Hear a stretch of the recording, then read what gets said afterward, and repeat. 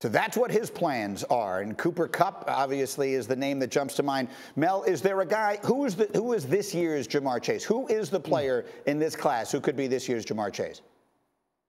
Well, I don't think there's a Ja'Marr Chase, a DeVonta Smith, or a Jaylen Waddle out there necessarily. Remember Burrow going with Chase uh, together with Tua. You had Waddle, you had DeVonta and Hurts. Who was the best quarterback of that group? Burrow and Chase. Burrow put it on Chase. He caught the ball. He did it at LSU when he went 15 0 in 2019. I think Garrett Wilson could be, as Dano said. I think yeah. Jameson Williams would have been in that discussion had it not been for the ACL. Mm. And there's a host of others that could be maybe that good, but I don't have any grade on any receiver in this draft equal to what the three guys DeVonta, Ja'Marr, and Jaylen had last year. Mm. So it is deep, maybe deeper than ever, but maybe not quite as top heavy as it's been in the past. Mel, we'll check back with you later. I have a lot of questions for you on the.